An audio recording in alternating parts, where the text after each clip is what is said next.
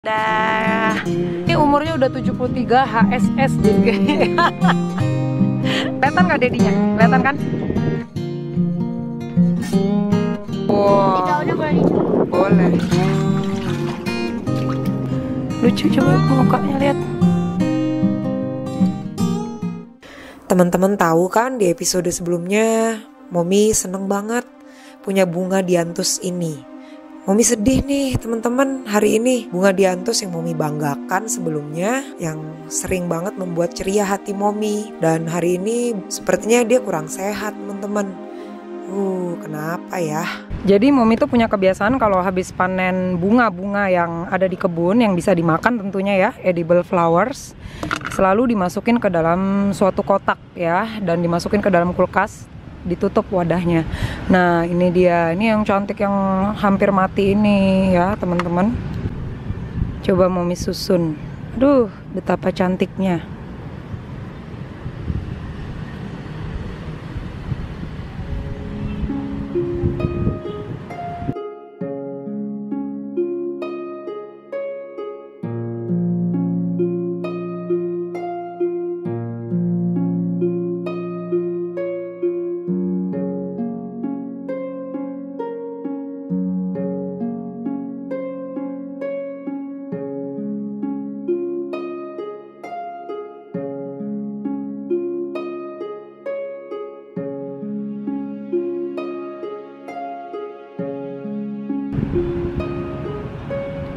Subhanallah. Luar biasa ya ciptaan Allah yang satu ini. Terima kasih ya kamu sudah memberi banyak bunga untuk Momi. Aduh, sembuh dong sayang. Padahal lagi banyak nih bunga-bunganya. Aduh, sedih banget. Hmm, dan katanya bunga diantus ini enak kata anak-anak dan Momi sendiri malah belum nyoba. Cobain yuk teman-teman. Hmm.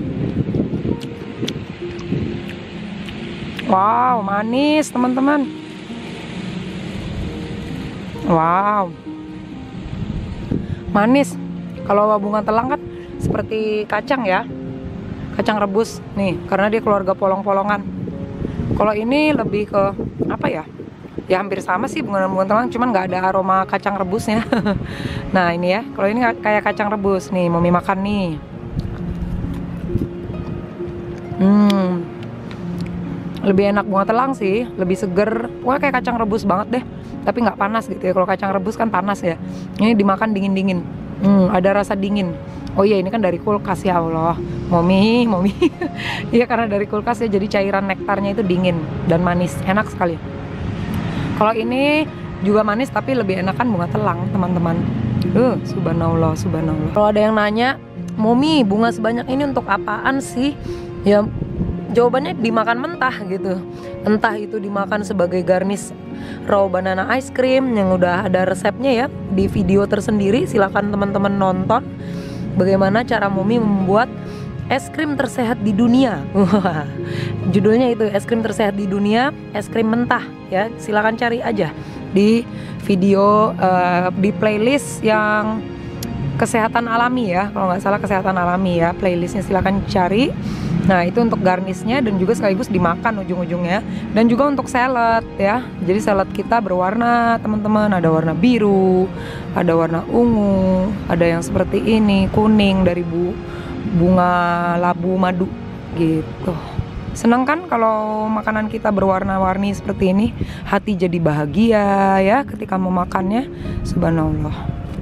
Zucchini kita nih yang buahnya udah gede juga nih yang ini Mumi mau membiarkan dia menggede ya ini lucu jadi dulu tuh kayak mengerucut gitu kan jadi yang gendut ininya duluan gelembung gelembung gelembung akhirnya sampai ke bawah nanti gendut dia menggendut nah ini juga lagi banyak lagi tuh.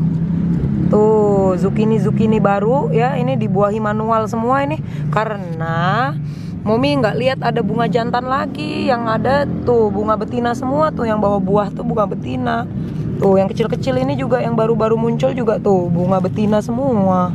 Jadi untungnya Mumi punya persediaan Nah ini zucchini yang lain, untung dia punya persediaan bunga jantan tadi pagi, jadi udah momi buahi secara manual.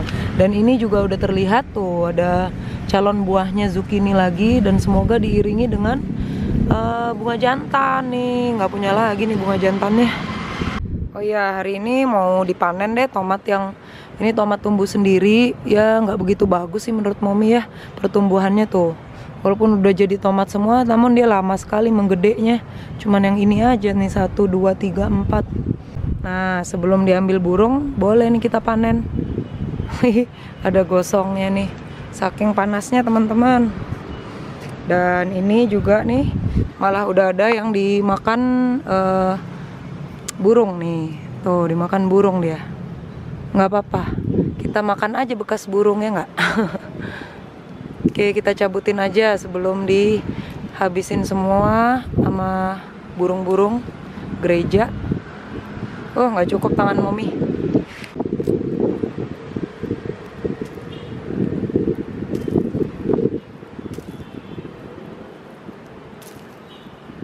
Wow jatuh. Ini belum terlalu merah ya udah deh. Jangan dulu deh. Biarin aja ini dia tomat-tomatnya. Cakep sih tomat Timothy ini ya yang beli nih. Bijinya di online.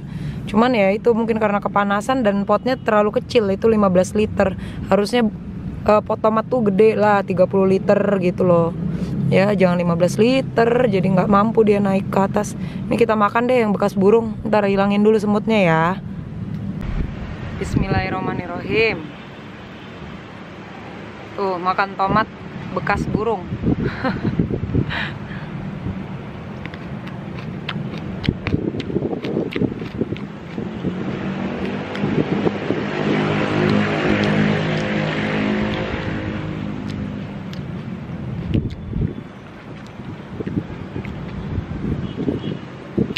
Enak banget teman-teman.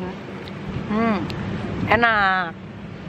Sekarang yang kedua bekas burung lagi nih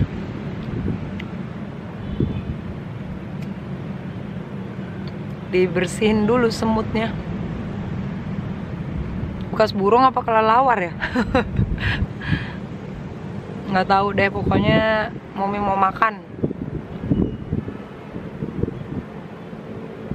Nggak dicuci nih. Momi nggak begitu terlalu khawatir sama ya kata orang bakteri ini bakteri itu jahat jahat itu yang nyebabin kita sakit. Hmm, Mumi nggak terlalu gampang percaya itu karena tubuh kita ini sendiri tubuh manusia itu adalah lebih menyerupakan uh, kumpulan bakteri daripada kumpulan sel. Karena jumlah bakteri yang menyusun tubuh manusia yang ada di tubuh manusia itu 10 kali lipat dari jumlah selnya. Tuh berarti kita ini lebih menyerupai bakteri berjalan daripada sel yang berjalan oke? okay?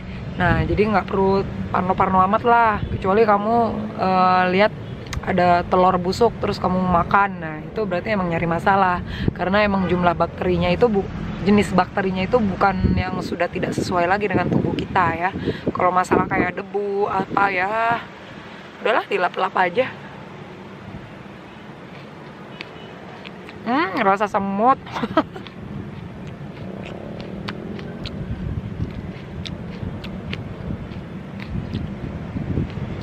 tetap enak dong. Semutnya tadi belum terlalu kebuang. Jadi teman-teman di rumah semua semangat ya. Makan organik. Sayangi tubuhmu ya. Teman-teman ini lihat nih diantus momi. Aduh ini yang sehat ya malah. Kalau yang tadi sakit momi udah pindahin ke sini nih ke pot yang bekas bit ya nanam bit. Semoga aja dia hidup lagi kalau di sini ya. Nah yang ini nih ternyata Oh tuh lihat tuh. Diserang kutu putih dia itu teman-teman tuh. Lihat ya. Tuh banyak kutu putih yang berteman dengan si semut-semut itu. Hmm kenapa ya? Tapi sampai sekarang dia masih sehat sih yang ini. Walaupun memang dari dulu dia bunganya memang ngasih bunga tuh kecil gitu. Hmm kita biarin aja lah. Mami lupa kemarin udah ngasih kascing sih. Tuh ini ya casting ya Aduh, semoga kamu bertahan ya di Antus. Teman-teman, kemarin hujan pertama ya dari musim kemarau panjang, akhirnya hujan juga tapi nggak terlalu deres. Dan ini lihat teman-teman, ini kan tanahnya belum diolah ya, masih tanah merah yang kalau ini karena hujan aja nih jadi kayak lembab-lembab gitu. Sebelumnya dia retak-retak kayak gitu ya, yang di sana. Nah ini lihat nih kalau udah keseimbangan terganggu ini misalnya tanahnya kurang hidup ya seperti yang Momi pernah ceritain nih teman-teman lihat nih. Tuh banyak semut-semut merah dan dia ternyata makanin ya ini ini ada biji pumpkin aja di sini dia dia serbu gitu loh tuh. Nggak tahu deh dia keliling-keliling di sini aja terus juga tuh ini ada bunga matahari kering aja dia makanin tuh ini kalau kayak gini nih kondisinya ini nggak mungkin kita bisa berkebun di kondisi yang seperti ini. Inilah bukti tanah yang yang udah terganggu keseimbangannya ya. Udah nggak ada unsur organiknya. Tanah mati lah istilahnya. Tanah merah ini.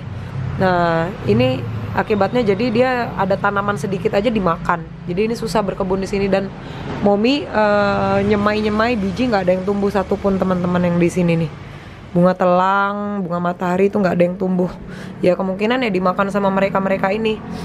Jadi Mumi nggak sabar nih memang mau mengolah tanah ini.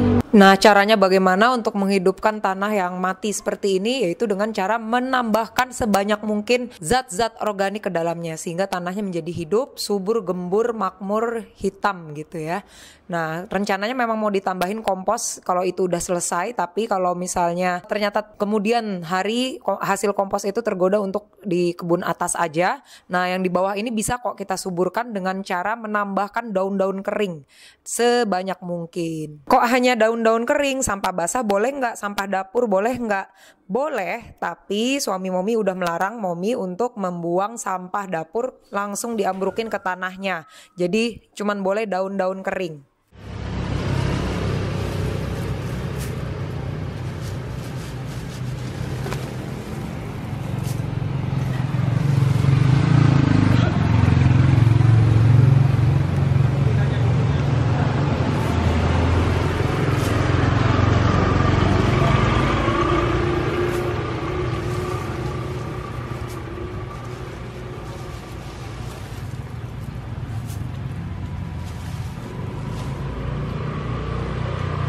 Untuk awal-awal dalam usaha menyuburkan tanah merah ini, kemungkinan tanaman-tanaman yang ditanam pada saat ini bisa jadi tidak akan subur.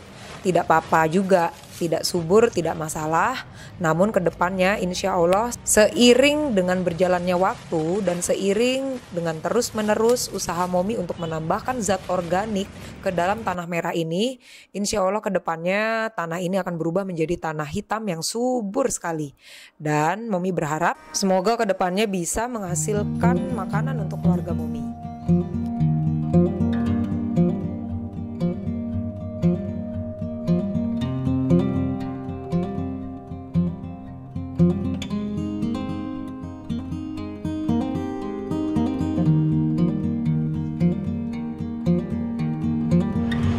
kemarin jalan-jalan alhamdulillah dapat daun jambu ya. Daun jambu tebangan pohon jambu. Jadi momi ambilin daunnya aja. Ini walaupun masih hijau tapi dia udah kena matahari jadinya nah tuh. Gampang sekali hancur. Seneng banget deh. Seneng banget dapat beginian. Tuh. Kita remes-remes dulu aja ya. Tuh. Nanti jadi gampang mau diaplikasiin ke pot-pot yang ada di kebun atap rumah momi Tuh setelah hancur nanti kita bawa ke atas. Kita tambahin lagi nih daun pinus ya. Tuh teman-teman ini makanya uh, teman-teman di rumah kalau mau pakai metode-metode seperti yang mau lakukan ini ya harus rajin-rajin memulung ya. Harus rajin-rajin mengutin sampah organik seperti ini di taman-taman publik ya. Tentu saja bisa minta izin dulu atau ya yang namanya begini mah nggak mungkin ya dipakai sama mereka tuh biasanya memang dibakar bahkan ya gitu. Jadi orang-orang di kalau di daerah Momi ya di Jakarta Timur sini yang begini gini gini ini dibakarin. Kalau ini enggak sih ini ngambil dari Tahura Bandung. Ya pas waktu ke Bandung ngambil ini di bawah-bawah pohon pinus banyak banget. Dan itu ya pasti free lah nggak nggak akan dilarang gitu loh. Ya oke. okay.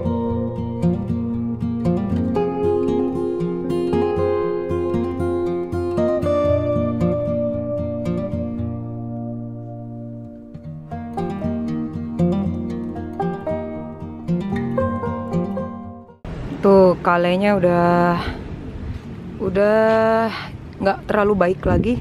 Nih apalagi ini udah ada yang mati juga nih.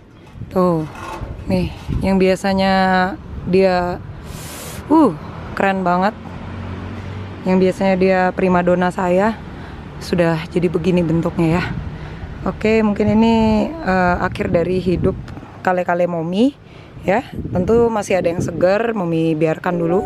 Kalau yang udah nggak segar seperti ini Mami akan tarik. Oh Mami akan tarik. Nanti tanahnya uh, potnya kita kumpulkan. Yang kosong-kosong yang udah nggak ada tanamannya kita kumpulkan lagi di sini. Nanti kita pikirkan untuk ditanam apa lagi. Oke okay, goodbye Kel. Terima kasih sudah berbakti sama Mami iya Mami iya. Sama-sama dan kamu nanti akan menjadi makanan cacing di komposter momi yang itu. Dan kamu nanti akan kembali lagi ke media tanam momi lagi. Sudah dalam bentuk wujud yang lain. Jadi wujud kascing